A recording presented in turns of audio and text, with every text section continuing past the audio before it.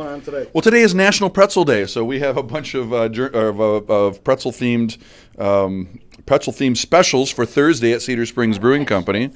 Yeah, we have queso and pretzel bites. We have a Bavarian burger that is on a pretzel bun and served with sauerkraut and German mustard, and, uh, and we have a, a pretzel pretzel crusted schnitzel. So we always have a schnitzel of the day every day up there at Cedar Springs Brewing, and today, of course, involves schnitzel of the day. Schnitzel of the day. See, that should be instead of beer of the week, you could have schnitzel of the week. We can. And then we have a, uh, a, a a beef pot roast as well, but that has a, a, a pretzel knoodle, which is a large, a great big dumpling that is Knoodle, served. Knoodle, yep. Canoodles. Yeah. hey now. That's right. So uh, and that starts that starts at 5 p.m. But everything else is served all day. So um, it's National Pretzel Day at Cedar Springs Brewing. Stop by and say hi, Where, and where- we'll where- smile at you. How to get there and where, where to get more information.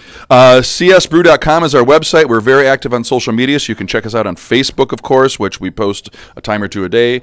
And we are located at 95 North Main, right downtown Cedar Springs, Michigan, on the White Pine Trail.